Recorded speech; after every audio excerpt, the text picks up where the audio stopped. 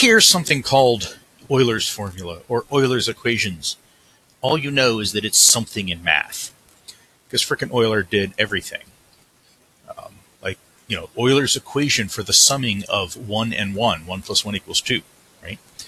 Euler's equation for multiplying by 0. Then there's the famous Euler's equation for adding 0 and then subtracting 0, but that one hasn't been proven. In fact, I'm not sure it even works. However, uh, the Euler equations we are talking about right now are these fancy things, which are um, Euler's equations for rotation of a solid body. Now, it's important to recognize what these things mean because they're nice and they're pretty straightforward. And you think, hey, this is great. I have equations for omega 1 dot, omega 2 dot, omega 3 dot. Those are differential equations. I can solve them, at least numerically, and all is well in the world. Uh, but here's the thing that's important to keep track and why these equations are actually kind of hard to use. And that is, is that if you have a body and so X, Y, and Z are just global axes. So that's some inertial frame. So we'll call it at rest because we'll work at the inertial frame where it's at rest. But the body is rotating relative to an inertial frame. And notice the body I've got here is triaxial. All that means is that the three principal moments of inertia are different from each other. So there's three different axes, triaxial.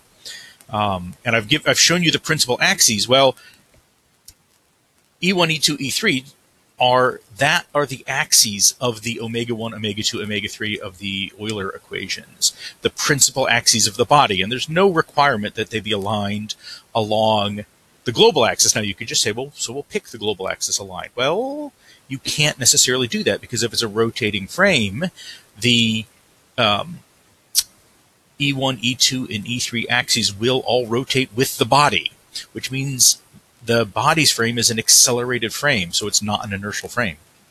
Um, so if you're doing something like I want to calculate how is this object going to tumble uh, as it goes flying through the air or whatever you want to do, um, you it's not as simple as just plugging into these equations and, and being done. Oh, I know my omega dot, so I can figure things out. It's not that simple because what you have is the omegas in the frame. So it's worth thinking about what these things mean. But before that, I do want to just, if you look at, um, if you look at these three Euler equations here, you might recognize, if you start with this, so L dot in an inertial frame, so I'm going to use the, remember the very useful relationship that had the Q's in it, equation 9.30, um, S0, see that's in the inertial frame is just, that's torque is dl dt. That's all that is. Well, we so we also have from the very useful relationship is equal to L dot evaluated in the rotating frame, so that's S plus omega cross L, right? Um, and where I, he used a capital omega, but here I'm using a lowercase omega. So what lowercase omega here is is the rotation rate of the body, and because the frame is really it's supposed to be the rotation rate of the frame, but we're going into the frame of the body. Well, in the body's frame, its angular momentum doesn't change, right? Because it's not rotating in its own personal frame. So that's zero. Um, so what this gives us then is L dot S zero uh, minus omega cross L is equal to gamma and L, remember, you can write that as lambda 1 omega 1 along the E1 vector plus lambda 2 omega 2 E2 vector plus lambda, right? Um, that's just saying because E1, E2, E3 are principal axes um, uh, in that in that coordinate system, there are no off-diagonal elements of the moment of inertia tensor. So, so that's all that L is. So remembering that you can write L like that, if you expand out the coordinates of this thing, you will get Euler's equations, right?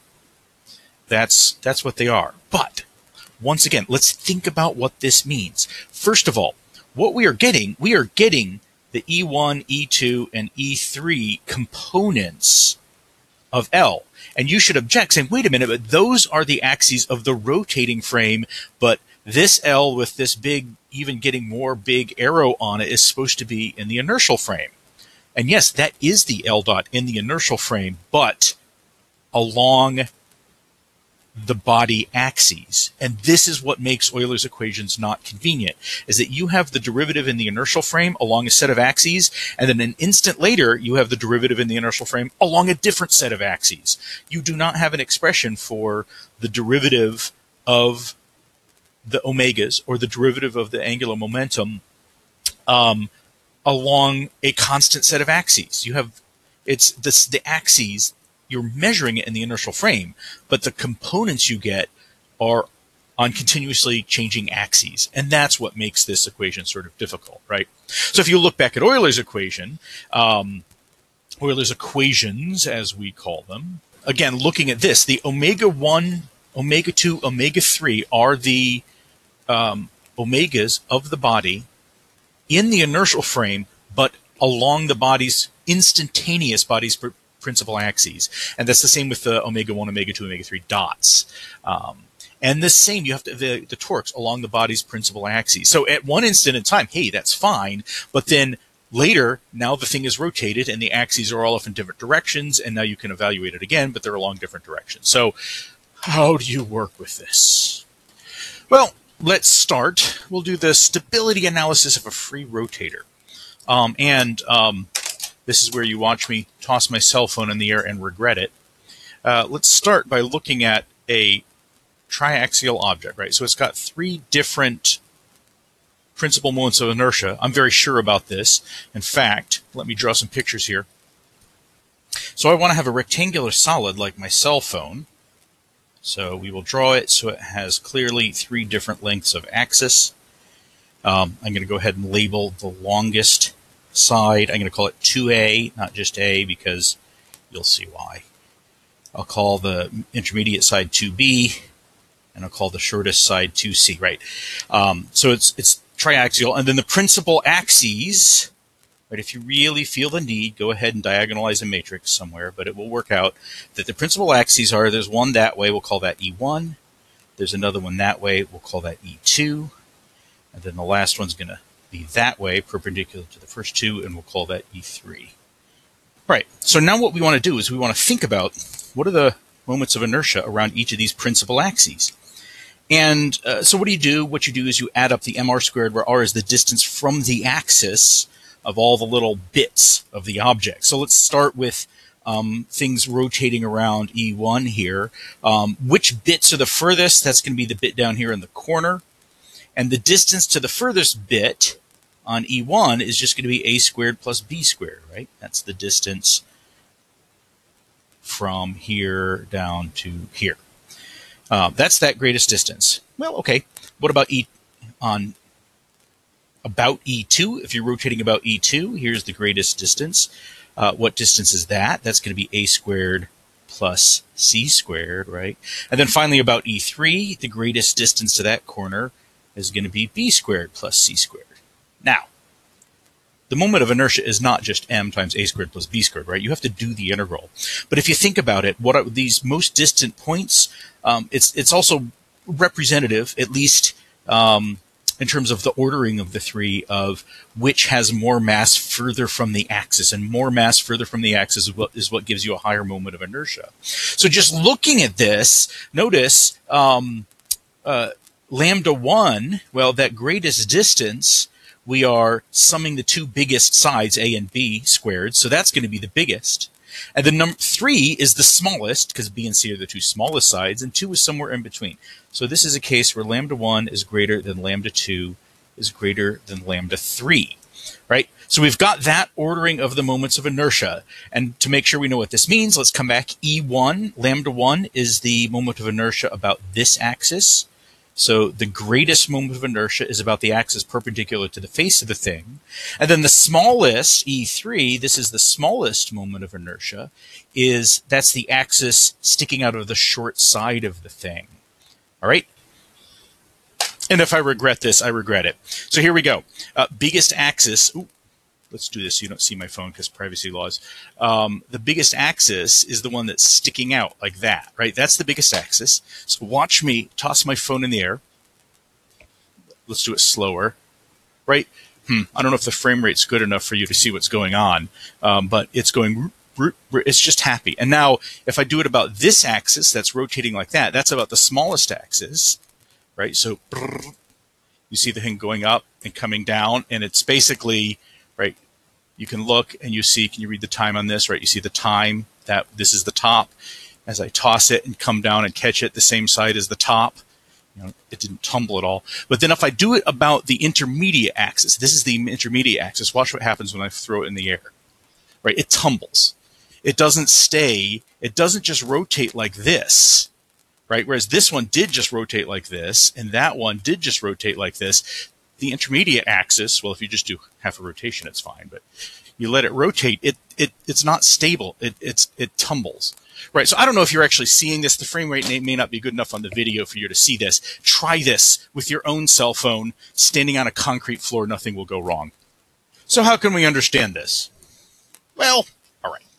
let us start with just the lambda 1, or uh, not the lambda 1, well, whatever, the omega 1 equation from Euler's equation. So we have lambda 1, omega 1 dot minus lambda 2 minus lambda 3, omega 2, omega 3. And you'll notice there's all kinds of patterns here. Remember I pointed out that it was a cross product, and so the one component has a 2 minus 3 in it, right? I mean, it's not, this isn't exactly a cross product, but it, it's like that kind of thing. And in this case, this is going to be equal to zero because that was a freely falling object. There was no torque on it. Um, ideally, I would have just done this in deep intergalactic space, so that would have just kind of hovered there. We couldn't do that, but freely falling turns out is just as good. Take general relativity. We'll talk about how freely falling is just as good. I think we even do a little bit in special relativity in modern. Take a time derivative of this, right? Well, the principal axes uh, the object is rigid, so the principal axes are constants. So that first term is easy. Minus constants, but now we have to product rule uh, to get this thing to work. So we're going to have a W2 dot. Oh my goodness, I just called it W. It's omega. I'm killing my own soul. Sorry, omega 2 dot omega 3 plus omega 2 omega 3 dot, right? I'm just producting rule. That term there is still equal to zero. And that's all well and good. Um, but now what I want to do is substitute in, like, for example, we know that omega 2 dot is equal to lambda 3 minus lambda 1, omega 3, omega 1, divided by lambda 2. All I did is I took the lambda 2, or the omega 2 Euler equation, and did the two steps of algebra to solve for omega 2 dot, right? We can do that we can also substitute in the equivalent thing for omega-3 dot, and we will get this much longer expression, lambda 1, omega 1 double dot, um, equals lambda 2 minus lambda 3. I've added it to both sides. That's what, so the negative side went away because it just made it equals, times big thing, lambda 3 minus lambda 1 times omega 3 squared omega 1. Right, so where the hell did that come from? This was the omega 2 term, so there was an omega 3 there and another omega 3. That's why it was omega 3 squared. But then we have to have a lambda 2. Plus, and then from the omega 3 dot term, if you had done it right, well, all right, if you had done it the way I did it, and I hope I did it right, you would end up with that, omega 1, omega 2 squared over lambda 1. And this is long. Sorry, not over lambda 1, over lambda 3. All right, and that is long. Um, and so what can we do with this? Uh, well, first I'm going to make some space on the screen. Well, let's work in the specific case where omega 1 is a lot less than omega 3 and omega 2 is a lot less than omega 3. What are we talking about? We're talking about an object that is rotating around one of its principal axes almost entirely, but omega 1 and omega 2 don't necessarily have to be zero. So it could have a small perturbation away from rotating around its principal axis, right? So this is like when I tossed my cell phone in the air and it was rotating like that. Um, in this case, I would have to define omega 3 as the one coming out of the board um, so that it's the thing where most of the rotation is. But there might have been, and almost certainly was, a small component of omega um, perpendicular to that just because I'm not so amazingly agile that I can throw it perfectly perpendicularly like that, right? But from from what you saw, hopefully you can accept these limits. Well, okay. What that means is effectively compared to omega 3, omega 1 is dinky. And omega 2 is dinky. And what that means is omega 1, omega 2 is double dinky. Right. What do, what do I mean by that? Let's suppose if we take omega 1 over omega 3, so it's unitless, and if it was a tenth, it's only 0.1, right? 0.1 is small, whatever, small enough. Um, if you only have one sig fig, it's small. Whereas, and then if omega 2 is also 0.1, omega 1, omega 2 is 0.01. So if you're keeping things to two sig figs, you have to keep your omega 1 and omega 2, but then your omega 1, omega 2, you don't necessarily need that one anymore. So if you look at these terms, well, I have one dinky here, and I've got to keep it because otherwise the whole thing becomes zero, and I want to see what happens above zero. So I can't get rid of that. But here, well, this whole thing, right, this is triple dinky. This is dinky, and this is triple dinky, three dink. Sounds like a rapper or something. Um, so I'm going to ignore this term. I'm going to say that term is small compared to the other term because of these assumptions up here that I've made. Right? And so then having done that, if we solve for omega 1 double dot, we just get this, right? So the triple dinky term has been tossed aside callously. I also rearranged one of these subtractions and pulled a negative out front. Why did I do that? Well, notice everything in parentheses is constants. What we have is omega 1 double dot is equal to some minus some constant times omega 1. Now, this is one of those differential equations I'm saying you should always recognize. Um, one differential equation you should always recognize. I'm going to use x here. x double dot equals minus, oh, I'm going to use capital omega squared x. That's the simple harmonic oscillator. That's going to have solutions, right, of e to the i omega x or sine omega x or stuff like that.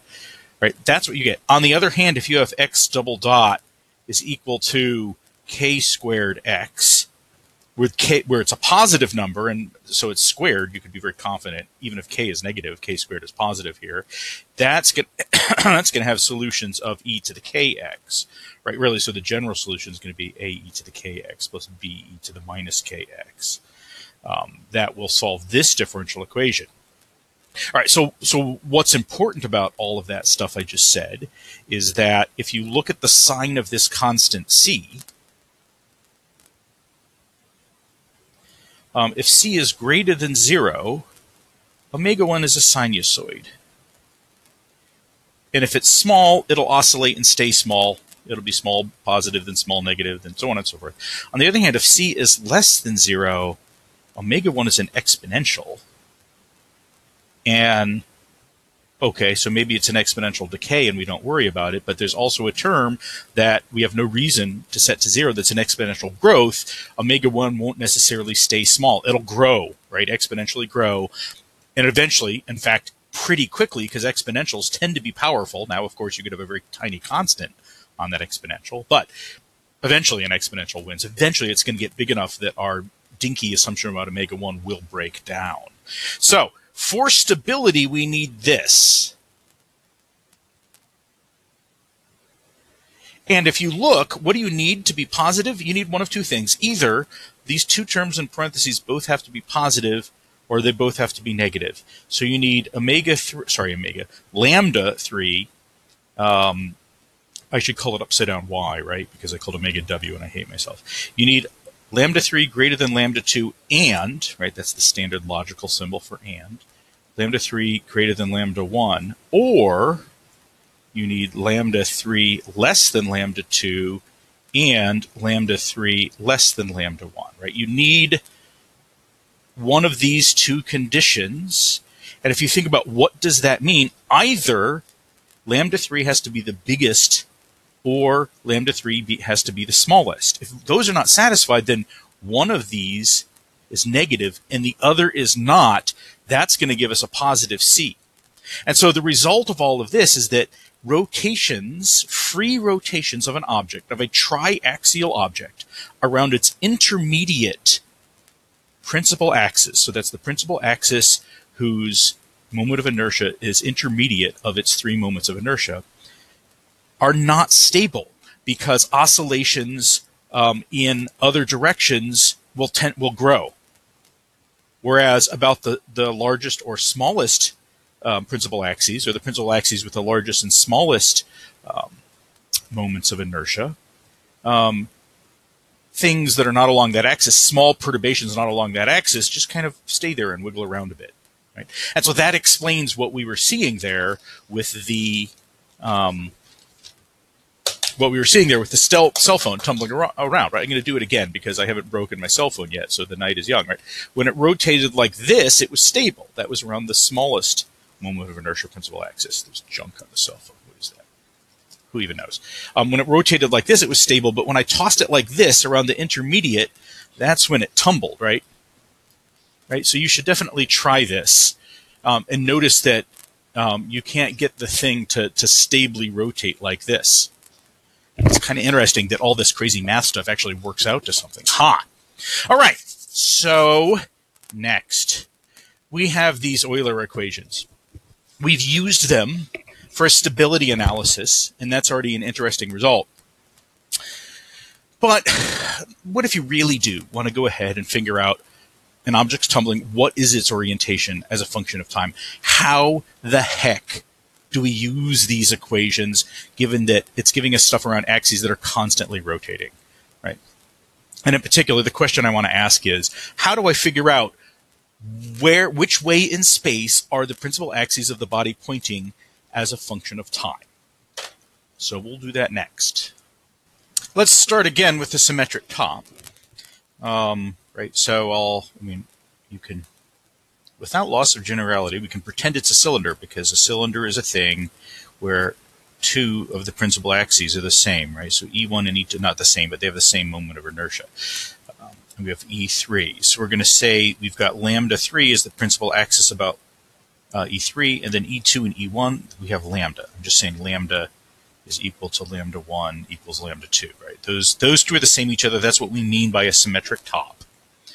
Um, and we can be sure that these are the way the principal axes are because you have rotational symmetry. You know, what do I mean when I say I have rotational symmetry? I want to do an aside here briefly. Um, what that means is let's just imagine that you look down on this thing from above.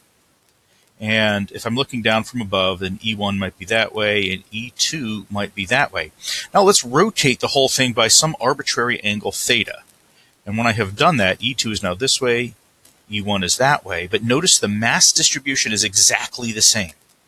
The mass distribution has not changed, um, which means that that and that are the principal axes. Well, then if I rotate it back, these are what those principal axes would have been. So any of these has to be a principal axis. This, this is a, a sort of more rigorous way of thinking about symmetries is what transformation can I make to the object that does not change the mass distribution of the object? You probably did all kinds of stuff like this in E&M. Um, I know that when I do, those of you who've had an E&M, and those who haven't, next year we will do this because symmetry is very important for figuring out a lot of simple cases in E&M. Um, great. So that's the, um, this is the symmetric top that we have. So if we start with the lambda 3 equation, or sorry, the omega 3 equation, lambda 3, omega 3 dot minus lambda 1 minus lambda 2, omega 1, omega 2 is equal to gamma 3. And I'm overlapping myself, but it's different colors, so you can take, right? And now here, in this case, lambda 1 and lambda 2 are the same, so lambda 1 minus lambda 2 is 0, which means if we're talking, and we're going to talk in free top, for the most part. So if that is zero, that tells us that lambda 3 omega 3 dot equals zero, or omega 3 is equal to a constant, right? Now, um, in the analysis of the uh, top that we did last time, we sort of assumed this and kind of argued later that it was true. Um, and it turns out actually that time, if you look at it, this was it wasn't actually a free top, but what we had was the force acting at the center of gravity was that way. The lever arm for the force was that way. And then E3 was that way. Well, if you take a cross product, so R and FG and E3 are all coplanar here. So if I take cross product of R and FG, I get something perpendicular to E3. So in this case is also one that had torque 3 equals zero. So omega 3 dot really was zero and it stayed zero. So the thing kept rotating at a constant rate. Now the real top didn't. Why? Because there were frictional torques here that that we're neglecting in this analysis or that we had neglected in the last analysis. But now I want to actually think about um, uh, I'm going to think about the free top here. Now, another thing I do want to notice is that our stability condition will be satisfied as long as omega 3 is not equal to, sorry, not omega, lambda 3 is not equal to lambda, right? If you have a sphere, I guess that's a symmetric top, um, right? It'll, I mean, it'll work, but um, let's go ahead and just assert for now for at least so it's easier to think about, lambda 3 is not equal to lambda, which means lambda 3 either has to be the biggest or the smallest, because lambda 1 and lambda 2 are the same as each other. So oscillations about this rotation should be stable based on all the stuff that we argued before. Right, so we're going to work with lambda 3 0, which tells us that, that omega 3, not lambda 3, gamma 3, I need to learn my Greek letters, which tells us that omega 3 is a constant. And so what about the other two? So scribble all that out. Um, let's do the other two. We have lambda omega 1 dot, right? So that was lambda 1, but I'm making them the same as each other, minus lambda minus lambda 3, omega 2 omega 3 is equal to 0. And lambda omega 2 dot. By the way, I should mention what I'm doing here is very much like one of the homework problems that's the one with the space station with rockets on it, except their omega 3 dot is not zero. So it's a little more complicated than what I'm doing here, but the same basic idea will, will work. All right. So we have those two differential equations. We already know that omega 3 dot is zero, right? So whatever it starts at, so it's just an initial condition. Whatever it starts at, it stays at. So we want to figure out the uh, differential equations for this. Well, so I look at this, and I don't really know what to do with it. But I do notice that I have a constant, right? That times that is a constant times omega 2, and then I have a constant times omega 1 with the omega 2 dot. And that kind of reminds me, wait a minute, that's like that circular motion thing. Let's try a solution of the form xi is equal to um, omega 1 plus i omega 2, right? Basically, what I'm going to do is uh, combine these two together into a single thing, omega 1 plus i omega 2, for xi, and then I will try a solution for xi of the form e to the i capital omega t uh, plus phi naught. Why phi naught? Why not phi naught? All right. I'm going to try that solution and see if it works. Well, xi dot, which is, of course, just omega 1 dot plus i omega 2 dot is equal to i omega a e to the i omega t plus phi naught, which is equal to i omega xi, right? That's the real benefit of using this form of the solution is you get that. So xi dot is just equal to, and I can just go ahead and plug xi back into it, i omega, capital omega, lowercase omega 1, minus omega omega 2. Where did the minus come from? It's because I multiplied the i by this i, and the squared became a negative 1. Right, so that's what xi dot is. So uh, what can I do with this? Well, given how we wrote xi, we can also write xi dot as lambda times omega 1 dot plus i omega 2 dot, right? That's what xi dot is, um, is equal to and then now what I'm going to do is take these two equations and just multiply the first one by 1 and the second one by i and add them together. And then I'm going to add all the negatives on the left over to the right. So when we're done, we will have a lambda minus lambda 3 times um, a very dead brain, omega 2, omega 3 minus i times lambda minus lambda 3 times omega 3 omega 1. Now I did a thing here. Notice um, these equations up here, there were negative signs. I added them to the both sides. They should have both been positive. This one's negative because I also flipped the order of the subtraction. So I didn't actually cheat there. Um, and so I could write omega dot plus i omega 2 dot is equal to um, minus lambda minus lambda 3 divided by lambda. I divided the lambda out from both sides times omega 3 times i omega 1 minus omega 2. All right, now, what we want to look at, I'm going to get a different color out, is this equation here and this equation here, right? Given our definition of xi, I have on the left, this is just xi dot, right? That's what that's what xi dot is on the left. Xi dot also has to equal this thing here. And look, it does. I have an i omega 1 minus omega 2 if this thing that I'm circling now is equal to capital omega. Right? So what we have is, and let me erase a bunch of stuff to make room. I'm going to leave that one down here. I'm going to erase the top. We have the Euler equations. We know them. What we have is, and remember, when I wrote, um, when I wrote xi is equal to omega 1 plus i omega 2 equal to a e to the i capital omega t plus phi 0, what I was saying is that omega 1 is equal to a cosine omega t, and omega 2 is a, sorry, cosine omega t plus phi naught, and omega 2 is a sine capital omega t plus phi naught, right? And these work if capital omega is equal to minus lambda minus lambda 3 over lambda times omega 3. Now, this minus is pretty important. When I was, I lost about three hours earlier today when nothing was working, and eventually I realized it because I forgot to copy this. Uh, I forgot to copy this minus sign down to one line. Right. So let's just think about what's going on here um, I want to consider two specific cases. Well, first of all, how do you know what A and phi naught are? Those are established by your initial conditions. So what I mean, you need initial conditions. That's always true with differential equations.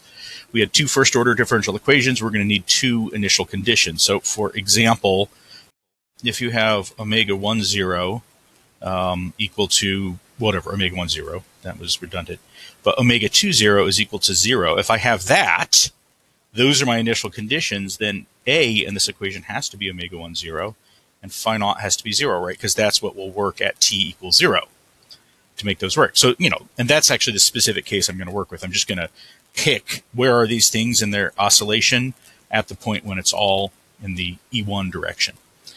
Uh, okay, and then uh, let's think about a couple of specific cases. One is this long cylinder like this, where you have E3 um, and E1. And in this case, this is where lambda 3 is less than lambda, right? Because stuff is further away on the um, stuff is further away on the um, you know further away that way than it is that way. And then the other thing we could have is we could have the disk, right? Where that's E3, that's E1, and this is the case where lambda 3 is going to be greater than lambda. Right, and those are two cases. And why does this matter? Because it changes the sign on omega, right? And that's going to be all right. So how do you think about this omega? What do we do with this omega? Um, it's tempting, very tempting, to say that omega is the rate of precession, and that's wrong, right? Again, remember, omega is the rate of change. Capital omega is the rate of change of the angular velocity about the axis which itself is rotating. Right? So if the omega around the rotating axis, if capital omega is the same as omega 3, sort of, then um, well, all right. You know what? Rather than do this, let me let me work the math out a little bit further, and we'll see what's going on. So for now, we're going to hold on to this result, and I'm going to set this result aside uh, for a few minutes, um, remember it. I'm going to come back to it. Um, but I want to talk about. Um, I'm not done yet. I mean, I figured out analytic expressions for omega one, omega two, so that sounds like progress. But I still haven't answered the question: How do you evolve E3? Let's do that. Um, so, how are we going to evolve? How do you go to orientation? All right. Here is something you are tempted to do. Tempt it, temp, temptation we are tempted to find a theta vector. And what that theta vector would be is if you have some object, right, and it's rotated um, from right. So let's suppose that its default orientation is along the z-axis, right? You've rotated it by angle theta about some axis in that direction, and then theta vector would just be have magnitude theta and uh, and then the direction would be the direction of the axis it's rotated about. And you're tempted to say, well, and that's just going to be omega dt. So all I have to do is get this omega. I have the components on the E1, E2, E3 axis. All like, well, great. I can convert those to XYZ, use that to update theta, use the updated theta to figure out how the new E1, E2, E3 point relative to theta. But this will not work, right? This is tempting but wrong. And Owen, I may have actually told you that I thought this would work earlier in computational, and I was wrong. This will not work. What, right? The real answer is going to be more complicated than this. So what can we really do? And we want to come back to thinking about what is, and let's talk about E3 in particular to start with, right? So we have, um, I need to not be erasing. We have um, you know, here's X, Y, and Z, and we have some object that may be rotating and precessing and all of that, and that's E3. And I want to get E3 as a function of time. Well, let's think again about transferring into the body's frame. We have this very useful relationship, which I'm now going to do with E3. I did it with momentum earlier. So the partial derivative of E, not partial derivative, the time derivative of E3 in the inertial frame so that's S0, right? That's the thing we want. We want to figure out, if we can figure that out, we now have a differential equation that we can solve numerically or otherwise um, for what is E3 as a function of time. And then we can do the same thing for E2 and E1. Well, that's going to equal using this very useful relationship, partial E3, partial T evaluated in the S frame, plus omega cross E3. Now, again, omega means two different things that are the same here. Omega, called capital omega in the very useful relationship, is the rotation of the rotating frame relative to the inertial frame. But then our rotating frame is the frame of the body. So it's also the omega of the body, right? Just because we've chosen that to be the frame. Now, in the body's frame, E3 is constant. In the body's frame, E3 always points along the axis of symmetry. So this is zero. So this gives us an equation, dE3 dt, that we can use is omega cross E3 in order to figure out how does it evolve, right? So how do we how do we actually use this? Well, let's actually go ahead and, and calculate omega cross E3. Now, you're tempted to draw this, and the way we usually do, I know I'm going to need more space, so I'm going to wipe that out. You're tempted the way you usually do of saying, okay, when I do a cross product, I'll put x hat, y hat, z hat, omega x, omega y, omega z, right, so on and so forth, and work out the cross product. But I'm going to recommend you not do this, and instead, for reasons, instead of doing it in the global frame, let's just do it. And you can do this. I mean, all this matrix thing is is a shorthand for for if you distribute out all the cross products. Let's do it in the E1. E2, E3 thing, because then this is omega 1, omega 2, omega 3, which is exactly what we have expressions for, right? In fact, in our specific case, omega 3 is a constant. Omega 1, omega 2, we have those analytic expressions um, for the top. And then E3 is just 0, 0, 1. And you can see that this cross product becomes much less painful. And you end up with, multiplying this out, that d E3 by dt is equal to omega 2 E1 minus omega 1 E2.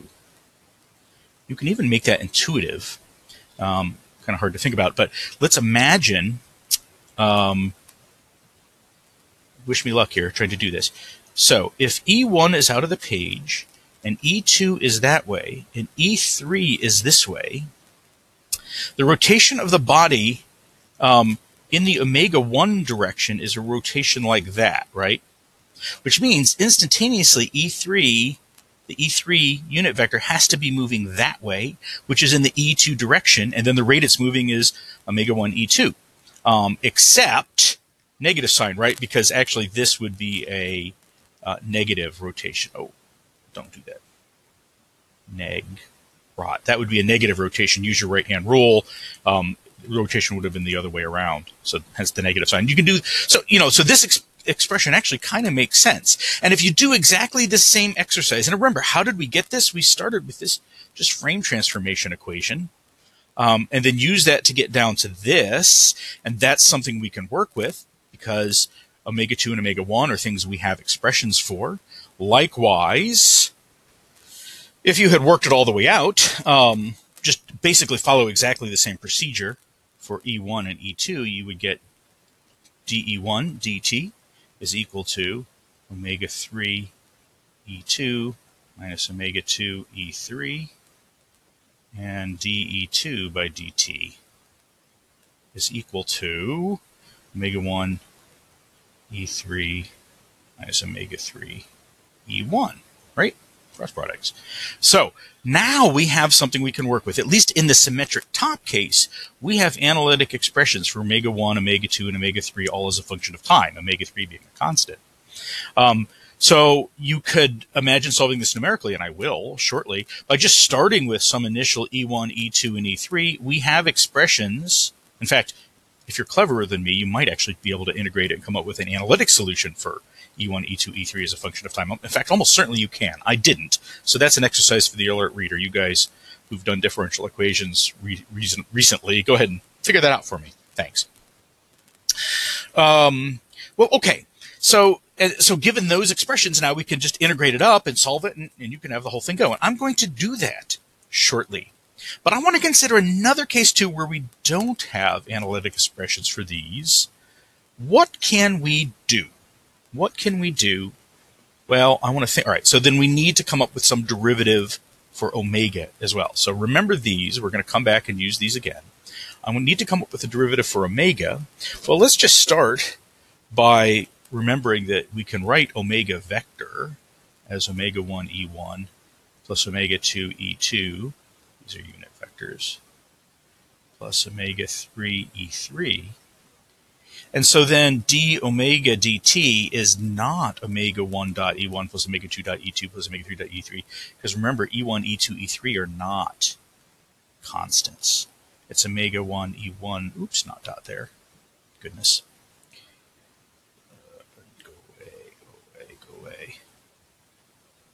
So omega 1 E1 plus omega 1 E1 dot plus omega 2 dot E2 plus omega 2 E2 dot plus omega 3 dot E3 plus omega 3 E3 dot. And that looks very long. However, here's a thing. Let me just, I'm going to gather together the terms with the dots on the E's on them. So omega 1 E1 dot plus omega 2 E2 dot plus omega 3 E3 dot. Well, we just had those expressions on the previous screen. Let's go ahead and substitute in for them. That's going to be omega 1. And remember what E1 dot was omega 3 E2 minus omega 2 E3 plus omega 2 and then E2 dot was omega 1, E3, as omega 3, E1. And then finally omega 3, and we can substitute in the E3 dot expression we had from the previous page, um, is omega 2, E1, minus omega 1, E2. And now if you look at this expression, I want to compare some terms. Notice here I have an omega 1, omega 3 E2. I have a minus omega 1, omega 3 E2. Those two terms subtract each other out. Next, here I have a, minus omega 1, omega 2 E3. Here I have omega 1, omega 2 E3. Those two terms subtract each other out. And then finally, the two terms left, I have a minus omega 2 omega 3 E1 plus omega 2 omega 3 E1. These terms subtract each other. Hey, look, these things that you would have, if you had forgotten that E1, E2, and E3 were not constant and left them out and you would have done it wrong, it turns out you would have done it right by accident anyway because this particular sum works out to be zero. So we are left with this convenient thing, omega dot is equal to uh, omega dot E1 plus omega dot, omega 2 dot E2 plus omega 3 dot E3, and that is, is nicer to work with. So now, what do you do with this? How do you work with this? Uh, all right, so note that we have um, differential equations for a whole bunch of different things at this point. If I can just wipe all that out. Um, we have differential equations for the time derivative of E1, E2, E3, well, and then omega, we don't I haven't actually given you one, but you could figure out omega dot. Uh, no, we, we don't have expressions for these, right? Because these are the Eulers. Duh. Of course, that's where we started, right? The Euler. So you've got expressions for all of these, right? And notice since each of these have three components, you track 12 variables. And you have a time derivative for each one. So you have a whole bunch of first order differential equations. You can solve it numerically if you want, right? Um, and uh, it, that will give you, by integrating up E1, E2, E3, the vectors as a function of time. So you know how to orient the object. Now, here's the thing though, if you think about it though, we have 12 variables, but really there's only six independent ones, right? Because you only need three angles. And when we get to the Euler angles in the next reading, you need, only need three angles to specify the orientation of a body. Here's one way you can think about it. And that is you need the theta and phi, right? The standard theta and phi spherical coordinates to specify which way it is. And then imagine that this object was painted with a, a stripe on that so you could tell if it was rotated. You'll need one more orientation to, to describe how it's rotated around its own axis. So that's enough. You only need three things to specify its orientation, and then three things for their derivatives, right? So these are, remember, that would be sort of the first order and second order thing. And yet here I am tracking 12. Here are the three derivatives, but I've got um, nine different numbers to keep track of the orientation. So there's redundancy here. Well, and it turns out we can very quickly get rid of some of the redundancy. We want to keep E3 because we like it. But notice that E2 cross E3, because these are unit vectors, E2 cross E3 is just E1. So throw out E1. Don't solve for E1. Only solve for E2 and E3, um, and then just calculate E1 like this when you need it. Now we're down to nine variables. And here, what, we're just going to live with that. We're actually solving for three more variables um, than we need to. Uh, there are ways around this to make it smaller. I'll, I'll, link you to a paper I found about this. Um, but we have something that we can work with now. Now, we should be a little afraid because when you're solving for more variables than you have, there are constraints that should link those variables to each other. And it's possible the solution will violate the constraints. And if the solution violates the constraints, it's not a valid solution. So you know something's gone wrong. And why would that happen if your equations are right? Well, numerical errors could build up, for example. Anyway, we have a procedure that we can use now. Right? So let's use this procedure. Okay, so I have some code here that's going to solve these equations. So, junk at the top. Um, first of all, I wrote a function here. Um, it takes in, so lambda is lambda 1 and lambda 2, right? Those are the two uh, things. Well, so lambda 3 is the axis of symmetry, then lambda is the other symmetric top, so lambda 1, lambda 2 are the same. Omega 1, 0, that is the initial omega 1. So I'm working specifically on the case where omega 2 0 equals 0. I've just chosen to do that. T is time, and then omega 3 is the con- is a constant. So here's this capital omega that we worked out before, which is not the precession rate of the body. Okay, uh, and we'll look at that momentarily. And then I can just calculate omega 1 and omega 2 right in here. This was the case where A was omega 1 0 and phi 0 was 0. So great. So I can get omega 1, omega 2 out of that. Now here is, I'm doing this with a solver similar to your Runge-Kutta. I'm using SciPy to integrate to ODE, but it's the same thing. It has the derivs um, function here, it takes t and the values, then I've passed the same extra constants we need. Vals, the uh, variables I'm going to solve for, are E2 and E3, right? So E2x, E2y, E2z, E3x, E3y, E3z. Um, and again, it's twice as many as I need because I really should, once I have um, E3x and E3y, and then say E2x, and why that? Because E3z you can figure out from E3x and E3y because it's a unit vector. yada yada, whatever. We're solving for too many variables. We're going to survive. Um, though that's what I'm solving for. And so just for convenience, I pull out E2 and E3 just so I can refer to them. And then remember what I said, just calculate E1 as E2 cross E3, whatever you need it. So there we do that. I get my omegas with that function I showed you earlier. Now I need my d-vals. And again, this is not a second order equation. Most of the time we've solved second order equations because we were solving f equals ma. These are all just first order equations. So I have six variables, each of which I have a first order differential equation for.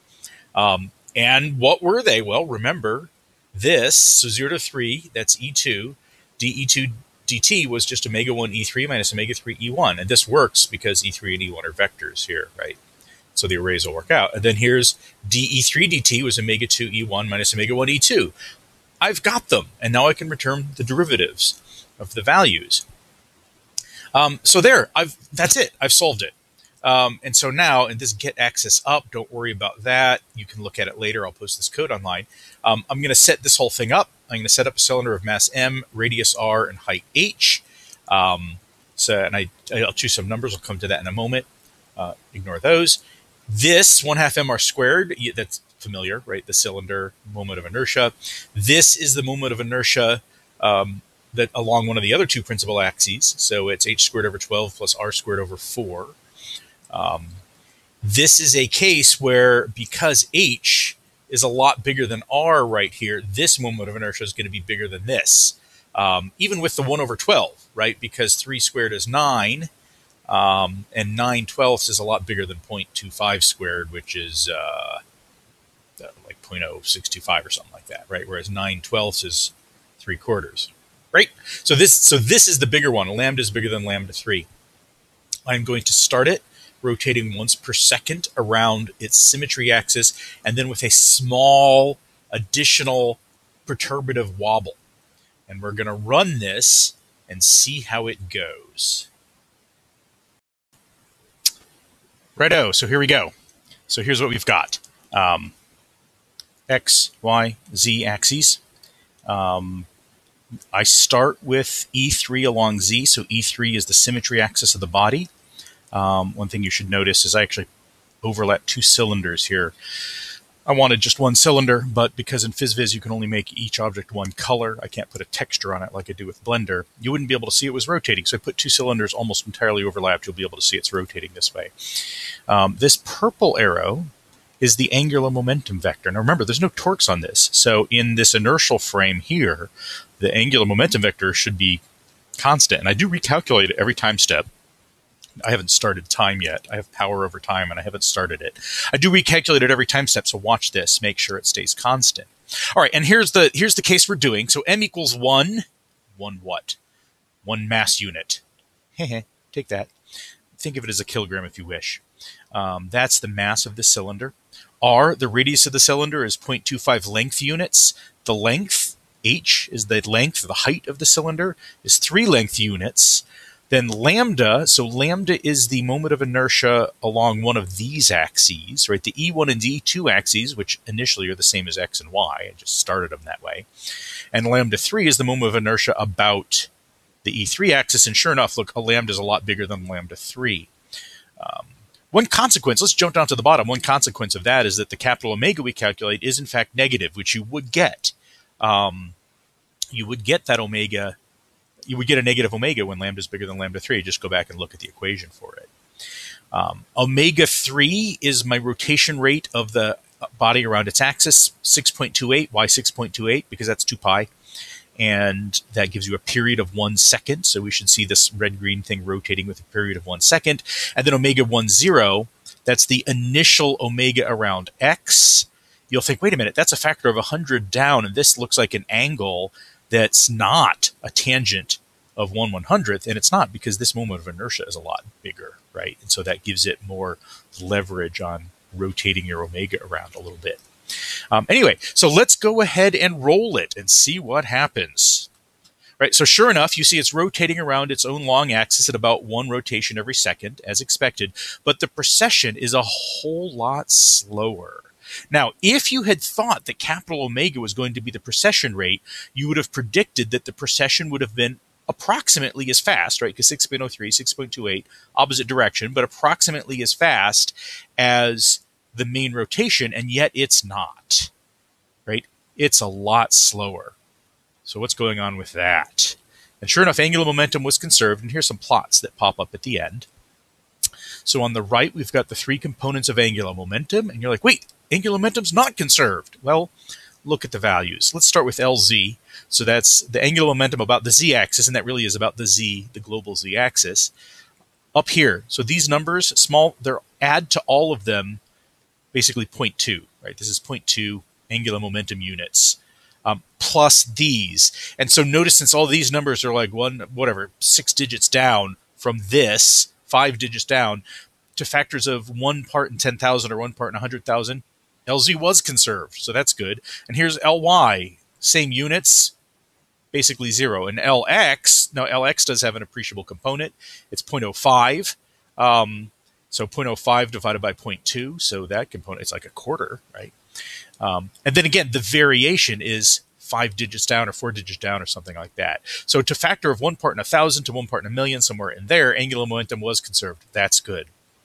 This is the most interesting plot because it's a plot of nothing versus nothing from zero to one. Oh, yeah. All right, this plot is mislabeled. I need to fix the label, and I will fix it in the code before I post it, unless I forget, in which case I won't. This says e2.x. Really, e2.x hat. Really, this is e3.x hat. This is the x component of e3, and then e3, remember, is the symmetry axis of the body. So right now it has a positive x component because it's pointed off that way. It would have a zero x component if it was perfectly aligned with z. And if you look at what it does, um,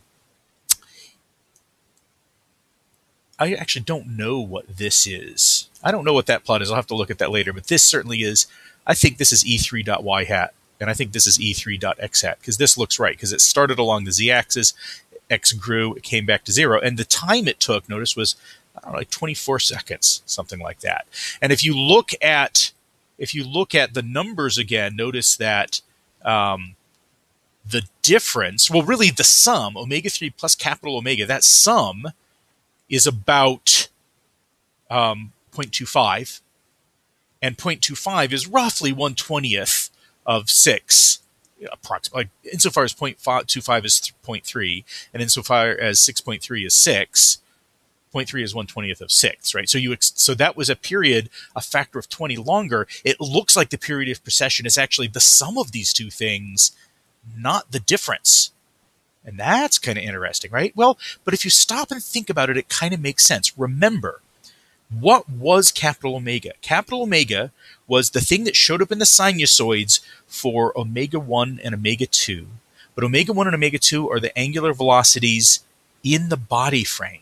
So if omega 1 and omega 2 are changing um, in a circle in exactly opposite direction and exactly opposite rate as the rate at which the body is moving, that means that the body's not precessing at all right? See, see what see what that means is that the the rate at which the direction of the uh, various axes in the body frame, their, their rate of change evaluated in the instantaneous body frame, instantaneous inertial frame aligned with the body. If that rate in one direction exactly offsets the rate that the body is rotating, that means those axes are not moving. And so that's why it actually would be the sum of these two things. Right? Like the, the capital omega needs to be the negative of the omega 3 to be going in the opposite direction. And that's why it was so slow. So um, capital omega, not the precession rate, not at all the precession rate of the body. Right? So that's what we get. This is just another thing. What I've added here are these three sort of faded out axes. That this is really E1, E2, and E3 and I've tacked them on the end of the cylinder. Really, their origin should be at the center of the cylinder, right? Because the center of mass is its pivot point, what it's rotating about. Um, but then this E3 would have been buried inside the cylinder and you wouldn't see it. So I've just moved it out here so you can see it. And right, so as you rotate, you'll notice, sure enough, um, these two, E1 and E2, are rotating around at, um, at, at omega 3. Um, and you can see this axis precessing around the angular momentum axis, and the angular momentum axis stays constant right? So that would be that's the result of the calculation of E1, E2, and E3. So really, these three directions are what I calculated, and then I did some calculations based on those. So that I solved the differential equations for those. I did some calculations based on those to figure out how to orient this object, the big cylinder. Finally, one final thing. Um, I wanted to do the disk. So this is here. If you look over on the left, you'll notice um, lambda is 1 and lambda 3 is 2. So this is the case where the moment of inertia about the symmetry axis is bigger than the transverse moments of inertia. And again, those are in units of mass times length squared. There's the R and the H I did to get these particular things. Um, I made omega 1 0 a factor of 10 bigger this time. The reason is because of the way the moments of inertia came out. I needed it bigger so that this uh, angular momentum axis wasn't almost in, invisibly different from the z-axis, but now you can see it is tilted a little bit. And now with omega, th- sorry, with lambda 3 bigger than lambda 1, omega comes out positive, and just because of the way the calculation works out, in fact, if you think about it, um, 2 minus 1 divided by 1 is exactly 1. And yet here they are different and not exactly. So what that means is these aren't exactly 2 and 1. It's just the number of digits I printed, they were 2 and 1, but they're probably different in the third significant figure, something like that. So um, these two omegas are almost exactly the same as each other. And so the difference is very small. So you might think a very small, slow precession, but watch. Right? And this is wobbling fast. And this might remind you of when you've thrown a frisbee or a dinner plate um, uh, go do that. Go get a glass dinner plate and go fling it around and say it's for science. Um, you notice the precession rate is really quite fast. It's wobbling really pretty fast there. Um, and we'll wait till it finishes here after 30 seconds and we'll get the plot up and we'll actually figure out what was that precession rate. I'm guessing it's going to be about half a second will be the period of the precession. Right, and here are the plots. Uh, once again, oh, you can see that angular momentum was conserved, although there were numerical errors. Notice that x is starting to be a little alarming because it's changed in the really, one, it only was four digits down where the change happened. But okay, so there are some numerical errors. All right, the period is fast, and now these labels are right. This really is the y component of E3. This is the x component of E3. So let's zoom on one of these guys here so you can see it a little better group and look at that two oscillations in one second. The period of oscillations was double E3, which was one oscillation per second. Um, not the period, the frequency is double. And remember, that's because omega 3 and capital omega were almost exactly the same. So the sum of those two is what's going to give you the precession rate in the inertial frame. And sure enough, that's what we saw here. All right. So I think that's it for this week. Not this week, today. Well, this week too, because it's Friday. So Butter was sleeping, but because you guys need your kitties, here's the kitty. See Butter? Butter, say hello. Butter says I was sleeping. Meow. Go close. Meow. Yes, she says I'm a kitten. Were you sleepy kitten? She says, what are you doing? Poor little Butter's a nice kitty. Yes, Butter's a nice kitty. Yes, Butter's a nice little kitten.